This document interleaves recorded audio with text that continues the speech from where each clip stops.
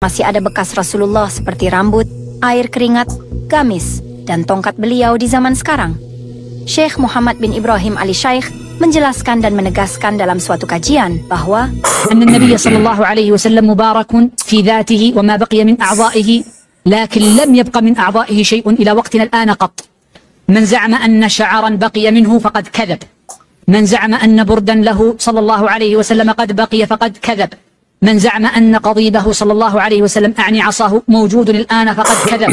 من زعم أن قميصه صلى الله عليه وسلم الآن موجود فقد كذب. لا أقولها أنا. بل قالها عشرات من أهل العلم ومن أواخرهم بعض المؤرخين في القرن الماضي بحث كل ما نسب له من آثاره فأثبت أنه لا يصح منها قد وجد. Tetapi anehnya, di Indonesia mengapa bisa sampai ada rambut, tongkat, bahkan air keringat Rasulullah? Memang kalau kita pikir ya, cuma di Indonesia bukan hanya rambut, bukan hanya apa, tongkat, bukan hanya baju, bukan hanya sandal. Darahnya Rasulullah ada di Indonesia ini. Jadi kalau kita sudah melihat cuplikan video di atas, apa yang disampaikan oleh Syekh Muhammad Ibrahim ya, manzama anna sya'run bagia lahu sallallahu alaihi wasallam kadab. Jadi orang yang menganggap bahwa rambutnya baginda Nabi itu masih sekarang ini itu orang bohong.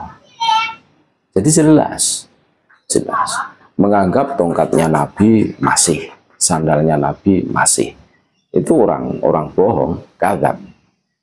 Dan kita semua tentunya tidak asing dengan narasi-narasi yang dibangun oleh Kabib Dobolowi ini.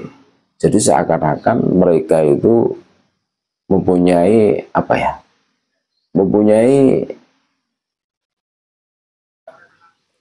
spesialisasi ya atau dipasrai sesuatu yang berhubungan dengan baginda Nabi Muhammad SAW. Ya sampai kemarin itu November ya tanggal 4 sampai 11 apa ya di Putiana itu kan ada pameran artefak yang promosinya luar biasa demi Allah gara-gara 100 atau 50 atau 25 ribu kalian tidak akan miskin untuk melihat langsung sesuatu yang pernah dipegang oleh baginda Nabi Muhammad SAW. Jadi apa ya bersumpah. Dan tentu sumpahnya ini adalah kedustaan karena kalau kita melihat video cuplikan yang disampaikan oleh Syekh Muhammad Ibrahim ini jadi man za'ama anna komisallahu bagia kalab orang yang mengatakan bahwa hari ini masih ada baju yang dipakai oleh baginda Rasul Shallallahu Alaihi Wasallam itu orang bohong. Ini ini jelas ini. Apalagi air liur, apalagi darah. Wah ngeri lah, ngeri ngeri. Jadi begini, mereka itu sangat pintar bikin narasi-narasi. Makanya ini salah satu bukti lagi bahwa apa yang disampaikan para Kabib Dobolowi selama ini ya penuh dengan kedustaan. Apa pun dijual, apa pun akan dilelang oleh mereka. Ini kan ngeri. Loh kok bisa?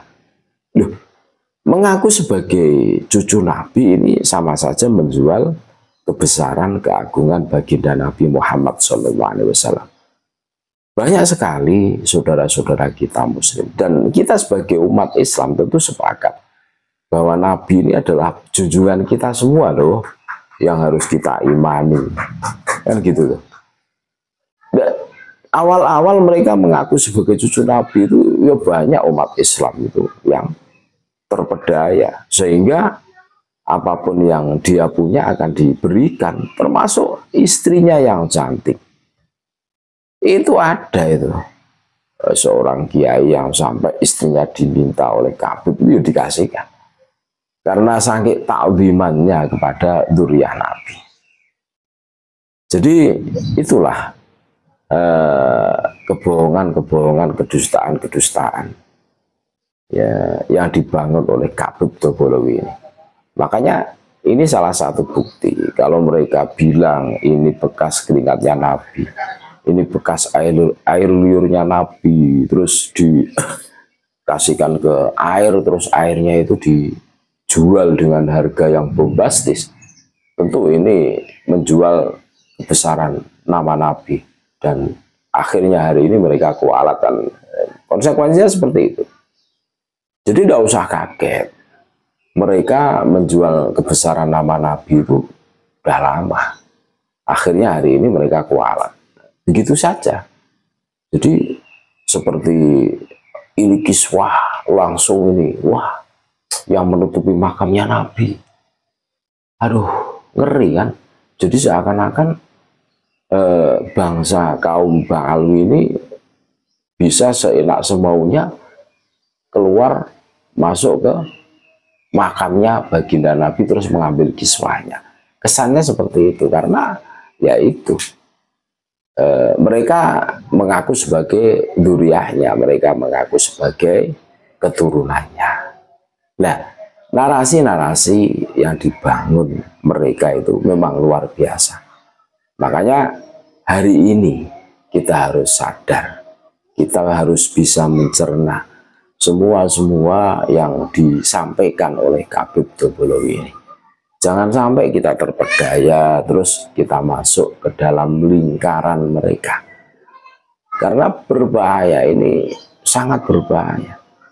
Ini bisa menyangkut itikadiyah, keyakinan kita semua toh. Jadi baginda Nabi saja dijual, apalagi yang lainnya seperti kita, seperti Mbah seperti Mbah Hasim Asyari. Mereka sangat mudah dan mereka tidak segan-segan melakukan sumpah demi Allah, demi Rasulullah. Nah, makanya kalau kita cermati, siapa yang sering melakukan mubahalah, yang mengajarkan mubahalah, Gus Dur itu pernah diajak mubahalah oleh seorang kabut dan tentu ini menjadi pelajaran itibar buat kita semua. Harus sekelas Gus Dur diajak halah. Kan lucu ini. Kok berani banget gitu loh. Maksudnya enggak mikir siapa Gus Dur itu. Ini salah satu strategi mereka untuk merendahkan ulama-ulama pribumi, kiai-kiai pribumi. Ini, ini yang harus kita sadari. Saudara-saudaraku semua. Jadi penting ini kalau kita sudah mendengarkan video di atas bagaimana seorang Syekh Muhammad Ibrahim menjelaskan kalau hari ini ada orang yang mengaku mempunyai darah atau baju atau sandal atau tongkat yang pernah dipakai oleh Rasulullah atau rambut baginda Rasulullah SAW fakot kadab maka betul-betul orang itu orang-orang bohong.